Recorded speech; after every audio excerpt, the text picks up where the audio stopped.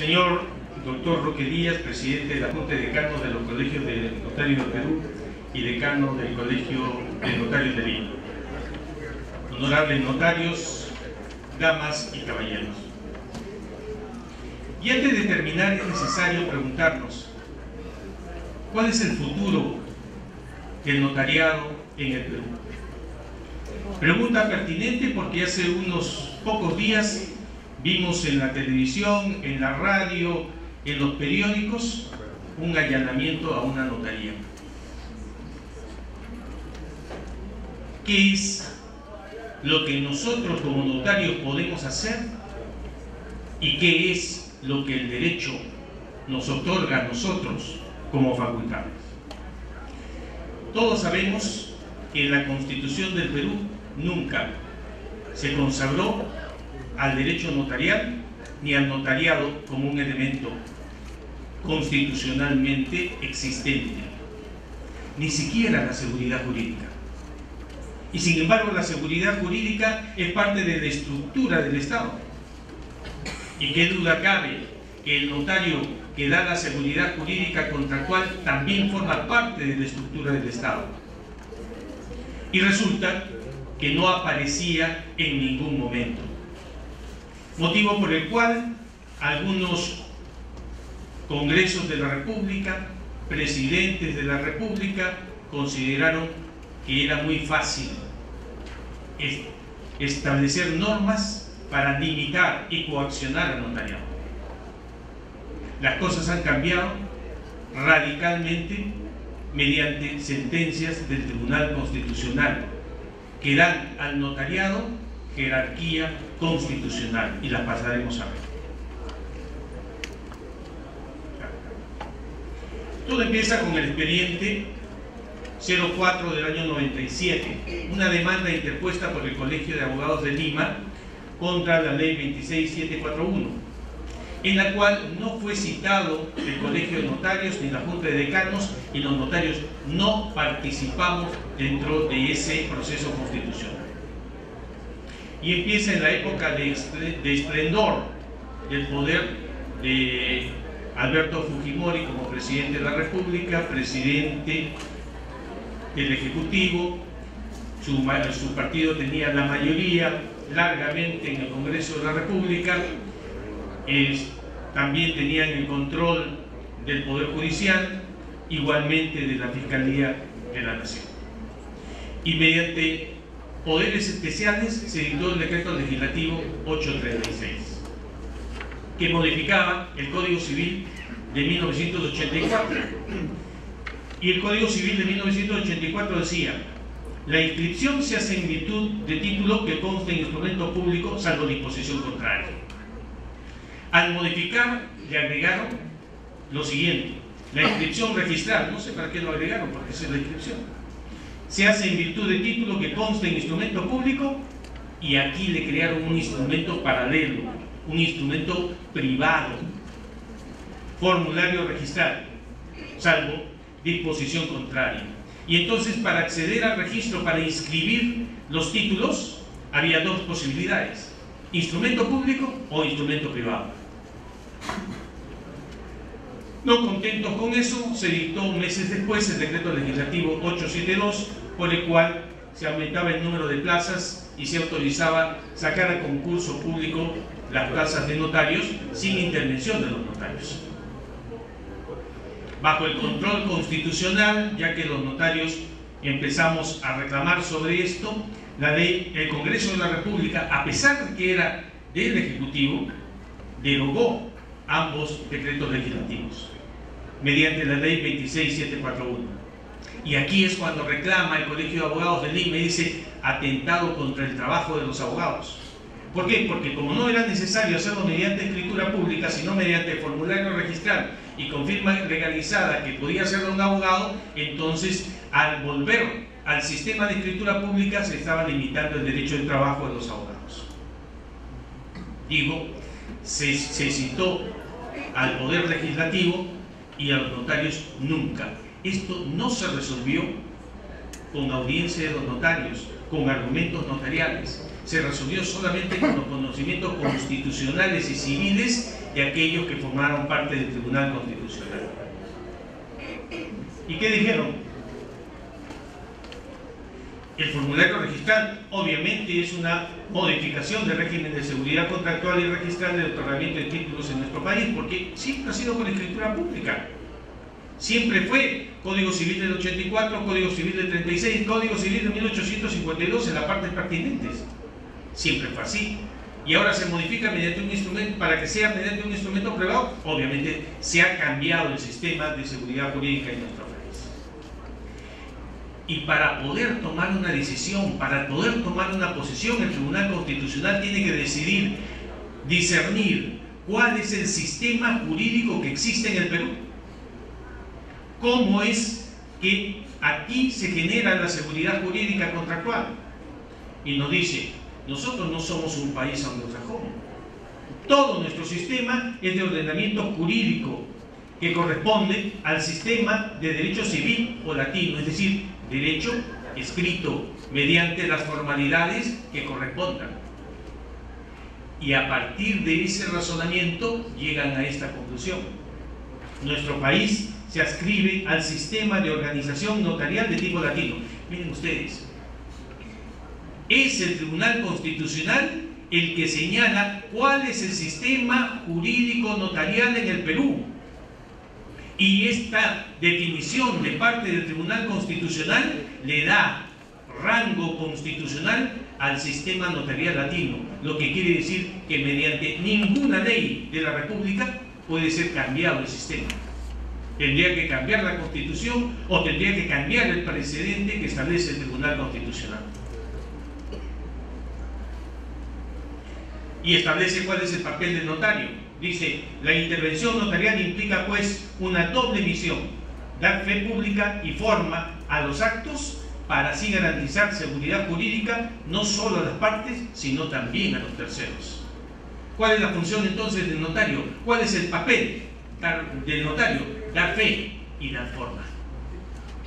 ¿Para qué? Para garantizar no solo a los contratantes, sino a todos los que no participan en el contrato, que después podrían participar con aquellos que ya lo celebraron. Y respecto a esa modificación, señala claramente, afectaba el principio de especialización, al confiar a la, la, autoridad de la fe pública a los abogados que por ejercicio de la profesión son patrocinadores de una de las partes. Y esto es importantísimo porque establece cuál es el sistema de organización de nuestro país. En nuestro país no todos hacemos todo.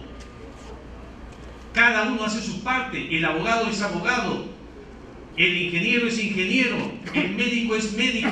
El arquitecto es arquitecto porque estos conocimientos requieren de características especiales en cada uno de sus casos y por lo tanto no podemos mezclar roles. Tenemos que establecer cuáles son los roles de cada uno y atenernos a esos roles porque cambiarlos significa desnaturalizar la esencia de la organización del Estado. Llamo la atención a esto porque pasados los años vamos a volver al mismo tema.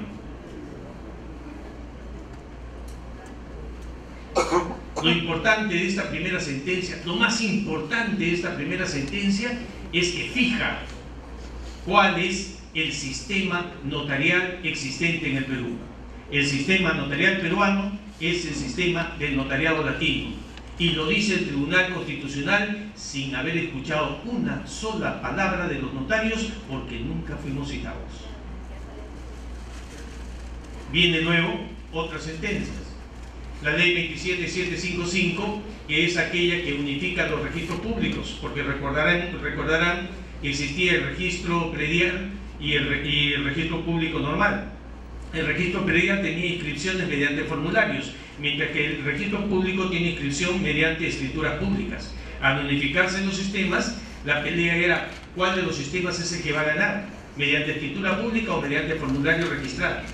En el proyecto de ley y en el proyecto aprobado por la Comisión de Justicia se aprobó que fuera por escritura pública y en el Congreso de la República solo por argumentos puramente populistas decía, la escritura pública es cara, no hagamos que sea escritura pública, que sea mediante formulario registrado. la, la votación terminó en nada, no se aprobó ni uno ni otro y hubo que ir a un cuarto intermedio para que la Junta de Portavoces acordaran que a partir del momento de la vigencia, de dos, años de vigencia de la ley 27755, la inscripción fuera mediante escritura pública o formulario registral si el valor del bien no superaba las 20 unidades impositivas tributarias. Y, pero teníamos coexistencia de dos sistemas paralelos. No argumentamos nada de, lo anterior, de lo que corresponde al sistema notarial, porque no conocíamos la sentencia. La sentencia la hemos venido a conocer después. Bien, aquí, aquí hubo una circunstancia que todos los notarios debemos recordar y que no nos debe volver a suceder. Los notarios en el Perú estábamos divididos en, grupos y por lo tanto se pusieron demandas distintas. Una demanda de la Junta de Decano de los Colegios de Notarios del Perú representado por el Colegio de Notarios de Callao y por el Colegio de Notarios de Arequipa, otra demanda del Colegio de Notarios de Lima y una demanda antes de los dos, sin que ninguno de los dos grupos lo supiéramos, que fue la de Junín, que nos tomó por, totalmente por sorpresa, de la cual me enteré cuando un miembro del tribunal me dijo, ya tu causa la hemos resuelto. Pero si, no, si ni siquiera nos nos han concedido la palabra, no, pero ya está resuelta. Y se referían a esta en la cual argumentábamos los acuerdos que tomamos en Cajamarca, pero sin las modificaciones que tuvimos que hacer para plantear bien una causa. Bien, en esa el Tribunal Constitucional tuvo que definir si es que resolvía o no resolvía la demanda. ¿Por qué razón? La seguridad jurídica no es un principio constitucional explícito, no está en la Constitución. ¿Y entonces qué cosa alegan los notarios? ¿Seguridad jurídica de qué? Si no es un bien constitucional, que vayan al Poder Judicial a pelearla mediante una acción popular, pero no puede hacerse en vías de acción de inconstitucionalidad. Dijo, no, no, no desestimemos el caso tan rápido. Vamos a analizar si es que en realidad hay mérito constitucional para podernos pronunciar sobre el fondo y después de leer todo lo que dice, se encuentra que el principio que están invocando es el principio de la seguridad jurídica. Y con ella, el correcto desarrollo que debe merecer el derecho constitucional a la propiedad. El Tribunal Constitucional considera que existe materia que justifica un pronunciamiento sobre el fondo de la cuestión. Es decir, vamos a definir si es la seguridad jurídica un principio constitucional o no lo es, porque si es legal, no procede.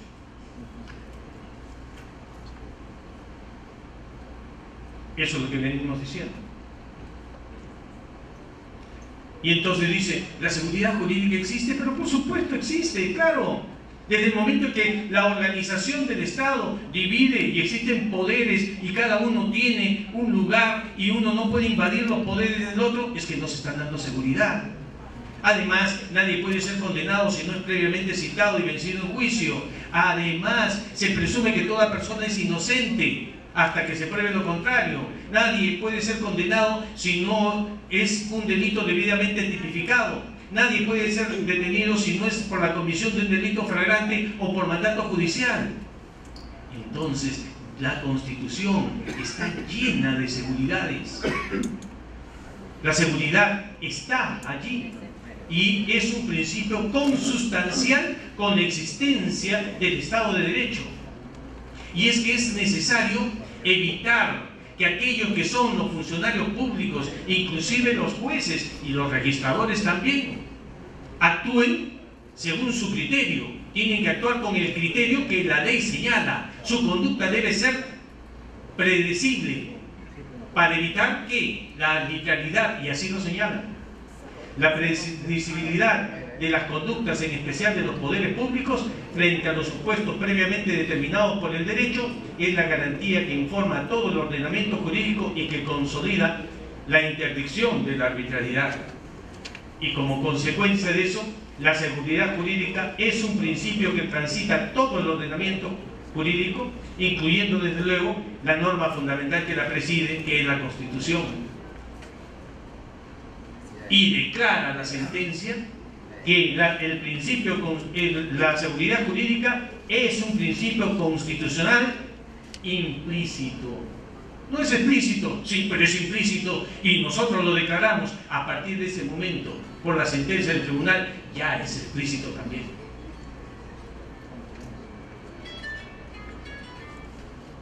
Y además en esa sentencia señalaba, miren ustedes, el Tribunal Constitucional comparte la posición del demandante en cuanto sostiene que la escritura pública es un documento público notarial que en principio proporciona mayor seguridad jurídica que el formulario registrado. El Tribunal Constitucional en esta sentencia tampoco había leído la sentencia anterior del tribunal. La primera, porque era un personal distinto, eran otros miembros del tribunal. Y así como los notarios no la habíamos leído, ellos tampoco la habían leído. Y sin embargo, adelantan su concepto. El concepto que está en la mente de todos nosotros por nuestra formación jurídica. La escritura pública es la que notoriamente da seguridad jurídica. Y si bien la alternativa de uso de los formularios registrales reduce los alcances de la protección que dispensa la seguridad jurídica, esta no se ve desvirtuada desde que exige que el formulario registral sea legalizado por notario público.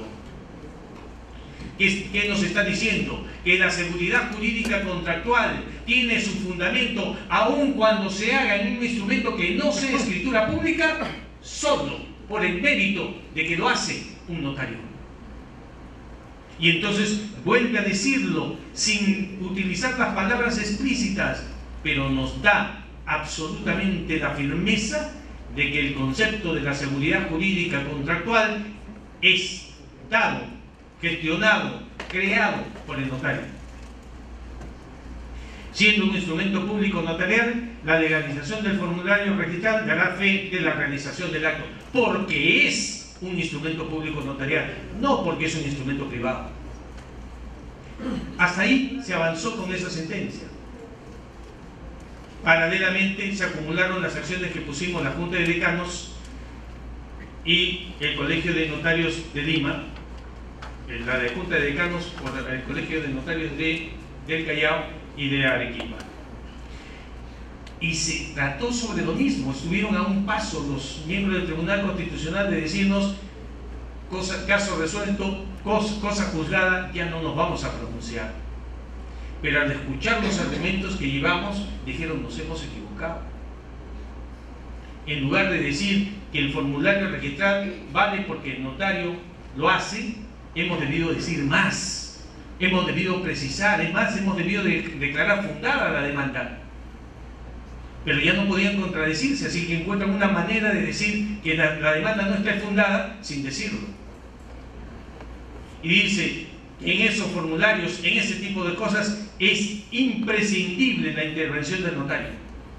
Del tenor del segundo párrafo del artículo séptimo de la ley 27755 se desprende la imprescindible participación del notario antes que el formulario pueda acceder al registro. Claro, y cuando lo hace, pues, antes que acceda al registro.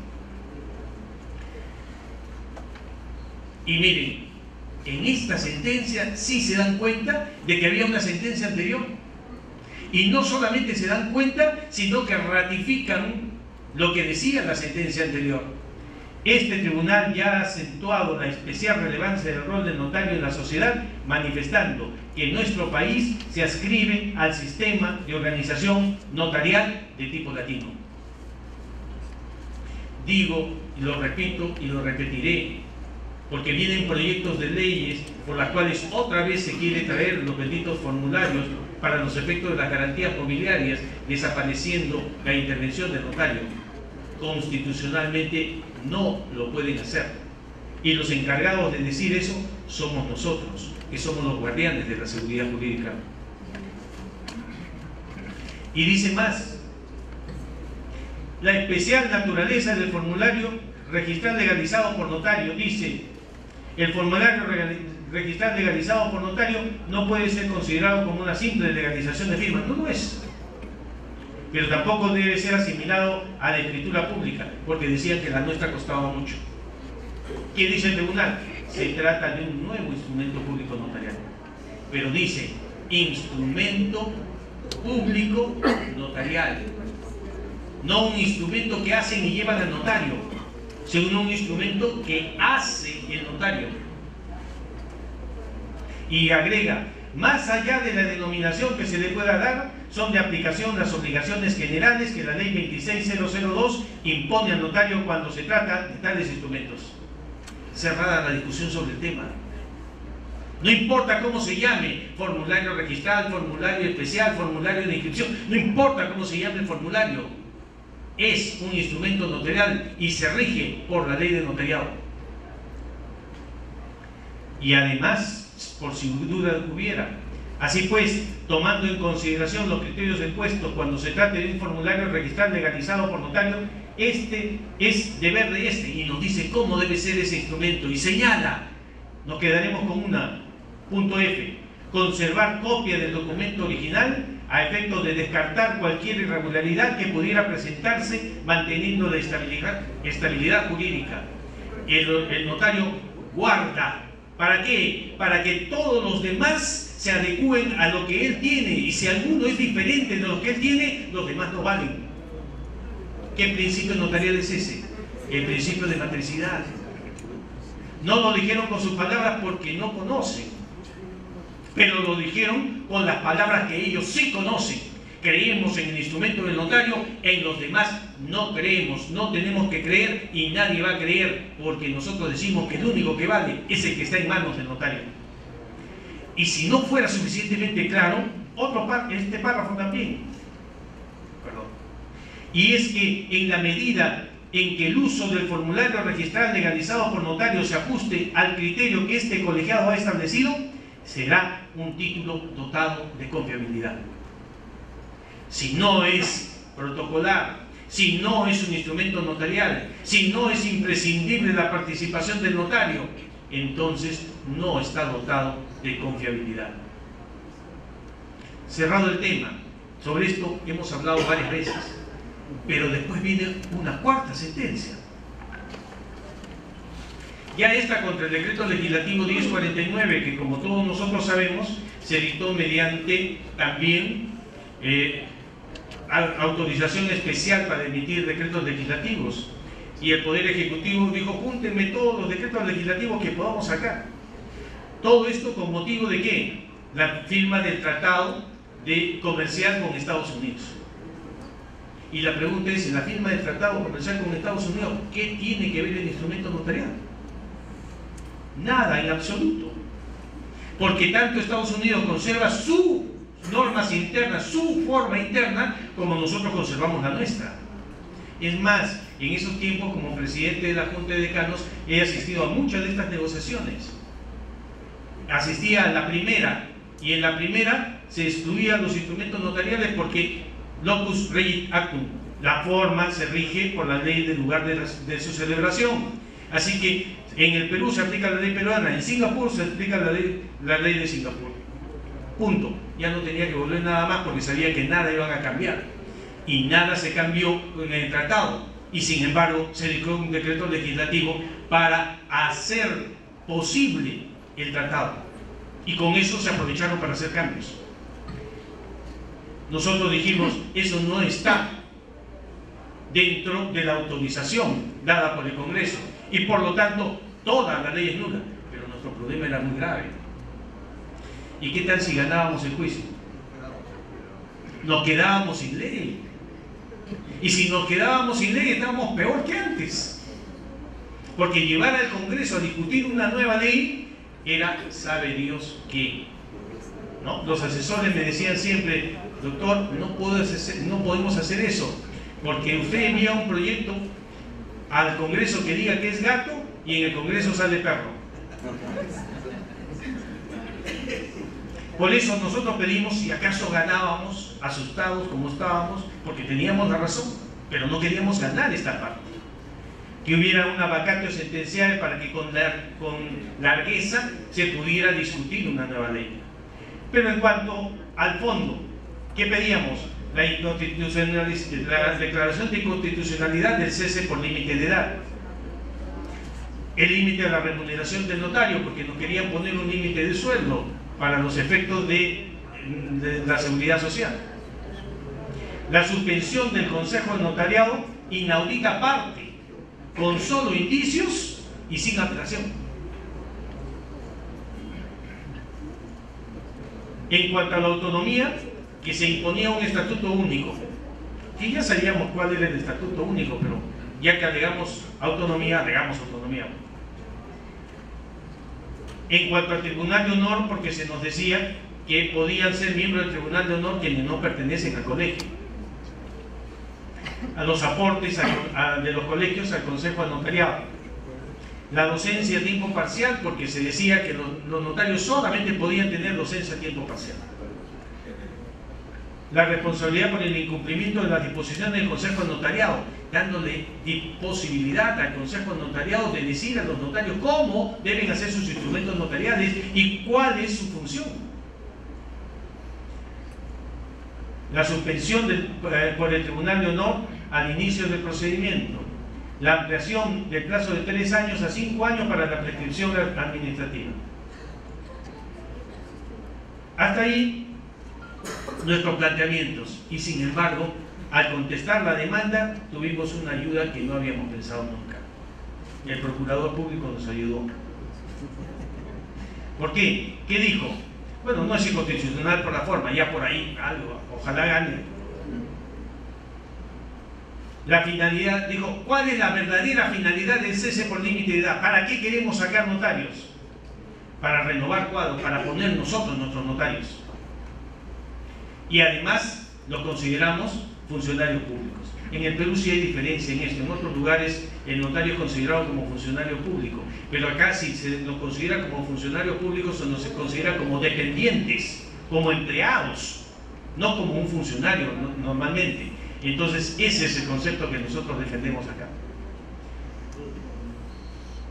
Y dijo, no se afecta a la autonomía porque el Tribunal de Honor con no colegiados existe desde hace tiempo atrás por el caso del Consejo de Notariado y el pago al Consejo de Notariado que los notarios hacen se justifica por la importante labor que se realiza y el Estatuto Único evita la pluralidad de formas de funcionamiento y esta fue la segunda ayuda. La primera fue decir la verdad, esta fue la segunda ayuda. El Consejo de Notariado no regula la función notarial, ustedes se equivocan, no, no, no. Cuando la ley dice que va a dictar dispositivos de cumplimiento obligatorio, no está diciendo eso. Lo que está diciendo es que va a ayudar a la supervisión del Estado. Coayuda, ayuda, pero no dirige, no dicta directivas. Y la suspensión está rodeada de una gran cantidad de garantías. ¿No? Pueden irse a descansar y después cuando, se resuelva pueden regresar como notarios el tiempo que les quede. Bien,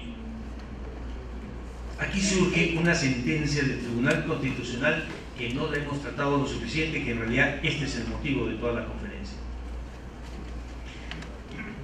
En el Perú, los periodistas ejercían, y cualquier persona podía ser periodista, bastaba que supiera leer y escribir y ya está pero se crea la comunicación, periodismo como una profesión. Y después se crea el Colegio de Periodistas. Y entonces el Colegio de Periodistas decía, para poder ejercer como periodistas solo pueden hacerlo los que están colegiados en el Colegio de Periodistas. Y sin embargo, los periódicos, la radio, la televisión, todo el mundo contrataba a quienes no eran periodistas. Es decir, a quienes vendían la noticia.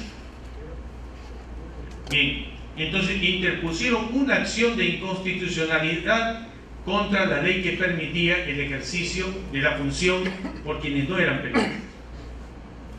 Y antes de resolver el fondo, entonces el Tribunal Constitucional dijo, tenemos que definir qué cosa es un colegio profesional. ¿Para qué sirve un colegio profesional? ¿Cuáles son sus atribuciones? Y después de eso veremos si se puede obligar a que todos los periodistas sean solamente colegiados. Que al final perdieron la demanda, ese es otro tema. Y entonces dice, miren, el artículo 20 de la Constitución señala a los colegios profesionales. ¿Y qué duda cabe que el colegio profesional es una persona jurídica? Es una persona jurídica, pero es cualquier persona jurídica, una como las demás, es una asociación. Dijo, no, desde el momento en que está en la Constitución, entonces es distinta. No puede ser considerada como una figura ajena a la Constitución, forma parte de la Constitución y se justifica que forme parte de la Constitución porque las demás forman parte del Código Civil, porque son instituciones de actuación social y colectiva compatible con el ejercicio de las potestades y competencias de los poderes públicos. Llamo la atención sobre esto porque ya antes habíamos hablado de los principios de especialidad y el Tribunal Constitucional nos decía, zapatero a tus zapatos, cada uno tiene su propia especialidad. Bien, esta especialidad se justifica porque esta es una profesión y esta profesión debe estar debidamente regida por aquellos que la conocen. Y como ellos la conocen y los otros no la conocen, entonces hay que darle una jerarquía dentro de aquello que es su especialidad. Y esa jerarquía es de una competencia igual potestades y competencias de los poderes públicos. Es decir, es como si hubieran dicho, como que es efectivamente así, el Consejo Municipal dicta leyes, pero solamente para su región. Los colegios profesionales dictan las normas, pero solo para su profesión. Esa es su fuerza, esa es su razón de ser porque poseen un ámbito propio de actuación y decisión. No solamente de actuar, sino de decidir cómo se va a actuar. El legislador puede determinar aquellas carreras profesionales en que la colegiación es condictio sine qua non para el ejercicio regular de una profesión. Pero tampoco se forman al arbitrio y tampoco actúan libremente. No, sin embargo, tal decisión no puede estar al, margen de valores superiores, principios constitucionales y derechos fundamentales que la Constitución reconoce. Entonces le reconoce que son principios constitucionales los que gobiernan a los colegios profesionales, valores, derechos fundamentales, principios que tienen el nivel constitucional. ¿Y cuáles son? Principios como constitucionales como A. La ordenación y el ejercicio de las profesiones. ¿A quién le corresponde decir cómo se ejerce una profesión? A los médicos cuando se trata de médicos. A los contadores cuando se trata de contadores. A los abogados cuando se trata de abogados. A los notarios cuando se trata de notarios. B. Que el ejercicio de las profesiones redunde en beneficio de la sociedad en general, dentro del marco de la deontología profesional. ¿Quién nos dice cuál es la deontología que corresponde a los notarios? Los notarios. ¿Quiénes dicen cuál es la deontología que corresponde a los abogados? Los abogados. Y ese es un defecto que nosotros tenemos aquí en el Perú respecto del Consejo Nacional de la Magistratura, que elige jueces fiscales y sin embargo solamente dos miembros del tribunal del Consejo son abogados y cuatro no lo son, o cinco, perdón, cinco no lo son porque son siete. ¿Cómo eligen entonces jueces y fiscales que no saben en qué consiste la profesión de abogado y menos la de fiscal o juez? El Tribunal Constitucional nos dice, eso lo tiene que manejar el colegio, al colegio le corresponde la mejor formación y perfeccionamiento de los profesionales colegiados, que es lo que estamos haciendo ahora. La defensa de los intereses profesionales no particulares de los colegiados. Nos ponen nuestros límites. Y todo esto para incorporar una garantía frente a la sociedad de que los profesionales actúan correctamente en su ejercicio profesional. Semejante entrega de semejante entrega, lo que quiere decir, ratifica que eso lo ha separado, lo ha entregado solo a, a cada colegio profesional. Semejante entrega demanda por la sociedad el aseguramiento de la responsabilidad del profesional en el supuesto de que no actúe de acuerdo con lo que se considera por el propio grupo profesional, de acuerdo con sus patrones éticos, como correcto o adecuado. Eso nos dice el Tribunal Constitucional. Un tercero no nos puede decir a nosotros cuáles son los patrones correctos que corresponden a una profesión. Al médico lo dirán los médicos, a los contadores le dirán los contadores, a los ingenieros lo dirán los ingenieros, a los abogados lo dirán los abogados y a los notarios lo diremos los notarios. Nosotros establecemos las reglas y nosotros debemos juzgar porque eso es lo que le corresponde al colegio profesional, no a otro y después nos restringe en la cara el propio tribunal a resolver específicamente la demanda. A juicio del tribunal, los colegios profesionales asumen determinadas funciones que por su previsión y por su propia naturaleza adquieren carácter constitucional. Porque es lo que corresponde. Eso que nosotros vemos es una especialización y a la Constitución le interesa que exista un orden adquiere mayor relevancia en aquellos ámbitos en los cuales el nivel de complejidad y especialización de la materia regular es tal que solo pueden ser advertidos si es que se cuenta con el mismo grado de conocimiento en dichas materias. ¿Qué sabía el fiscal y el juez que denunciaron y pidieron el allanamiento de una notaría para incautar los bienes del notario? Para incautar escrituras públicas. ¿Lo pueden hacer? De ninguna manera, pues está expresamente en la ley señalado que las escrituras públicas no pueden salir del oficio de notario. Está claro, no conocen. Ahora mismo conozco de un caso en el cual se alega la falsedad de una escritura pública y se dice que es escritura pública porque en la minuta se ha hecho el peritaje y la huella puesta en la minuta no le corresponde a la persona. ¿Y qué tiene que ver la minuta con la escritura?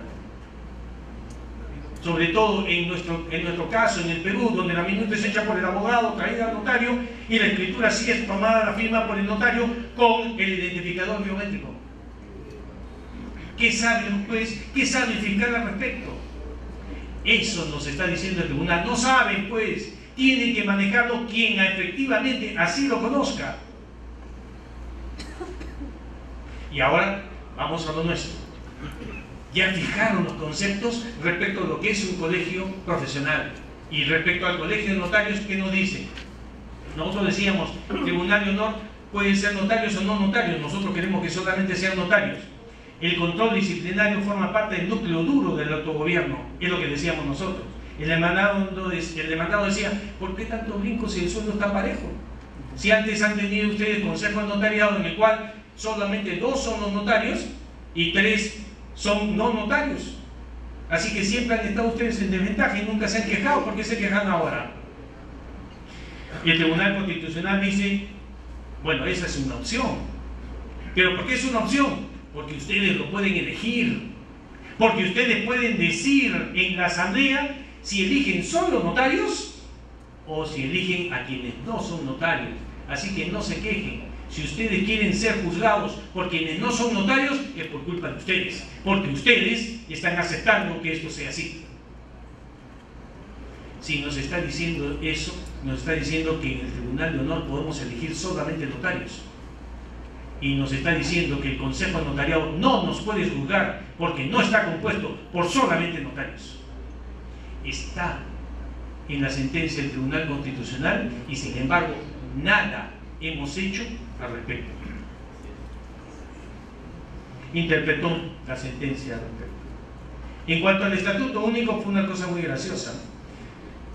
El estatuto único dice, oiga, nosotros decimos que no nos pueden decir cómo es nuestro estatuto, pues porque querían sacar un estatuto modelo y que todos lo adoptemos.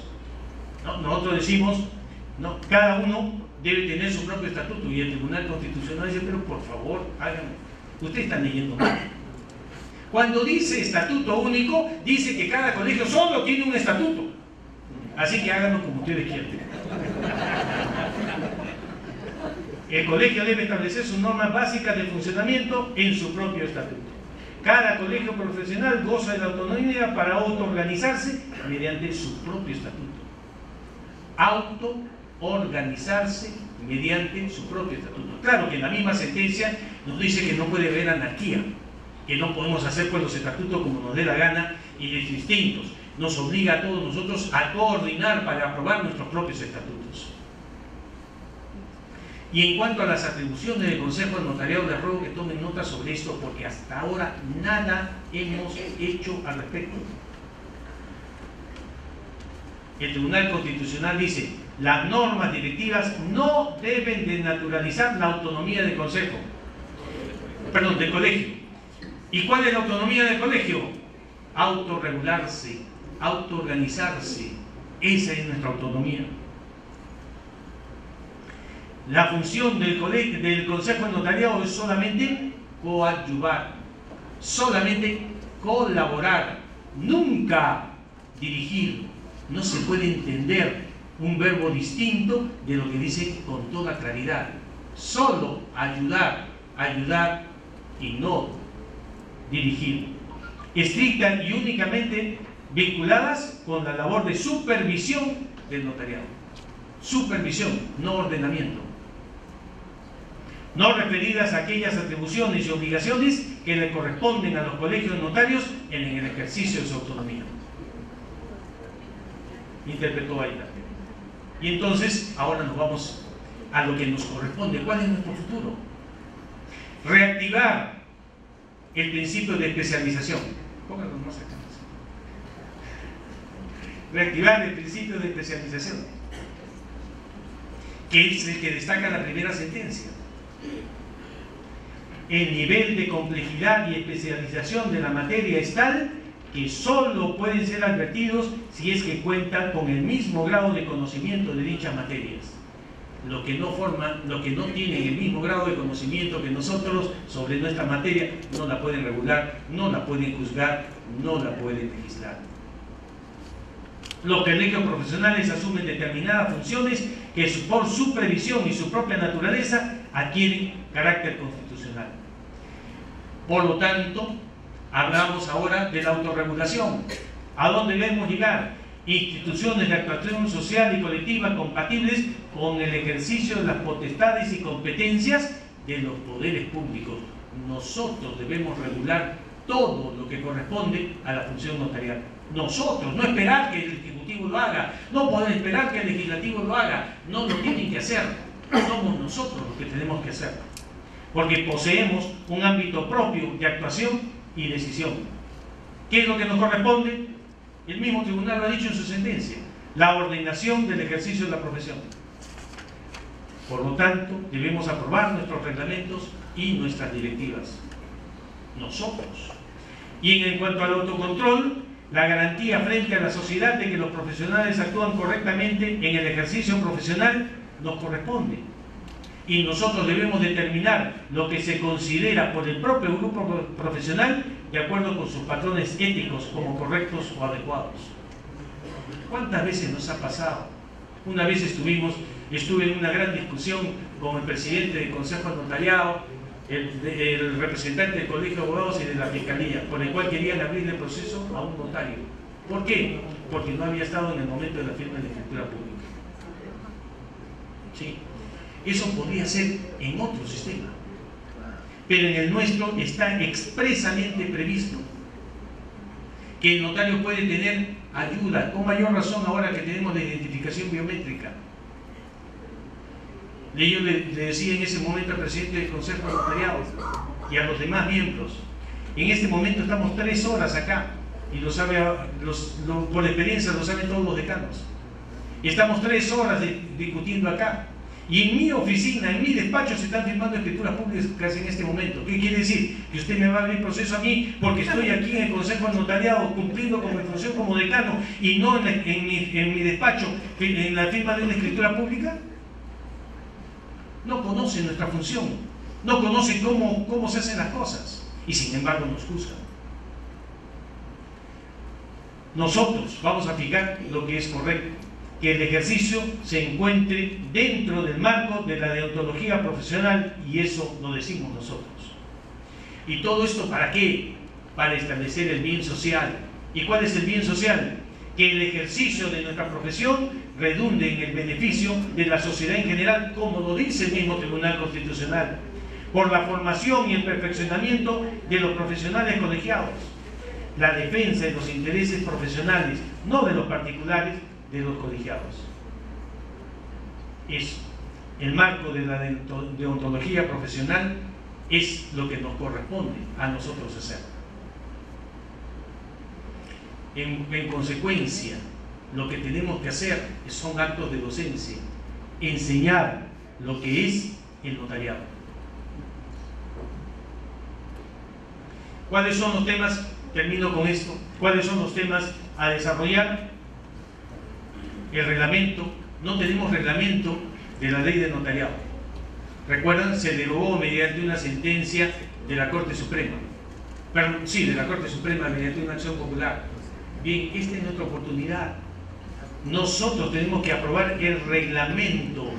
Lo dice el Tribunal Constitucional. ¿Por qué no lo hacemos? Lo único que tenemos que hacer ahí es coordinar entre todos los colegios porque no podemos sacar reglamentos distintos. Tenemos que sacar un solo reglamento para todo el Perú. Está sobre nuestros hombros. Queremos esperar nosotros a que otros lo hagan, porque si nosotros no lo hacemos, alguien estará tentado de hacerlo. O los fiscales estarán tentados de interpretar como quieran la función del notario.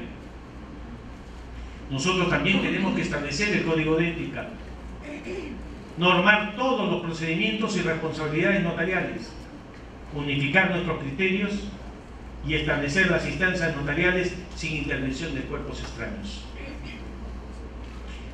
Ese es el deber que en el futuro tenemos todos nosotros como notarios. Queremos ser respetados, hagamos lo necesario para que nos respeten. Nosotros hagamos las normas que son las que deben regir la función notarial. ¿Quién nos va a ganar en eso? Nadie, porque los únicos especialistas somos nosotros. Y si no lo hacemos, no nos quejemos, porque vengan otros y nos digan cómo tenemos que hacer y después nosotros nos quejemos porque lo estén diciendo mal. Finalmente, este es, esta es nuestra contribución para el desarrollo de una patria fuerte, futura y segura. Muchas gracias a todos.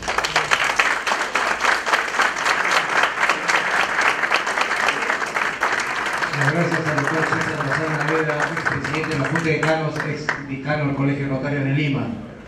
Un reconocimiento por su labor y por su gran exposición, esclarecedora de verdad. Aplausos, por favor.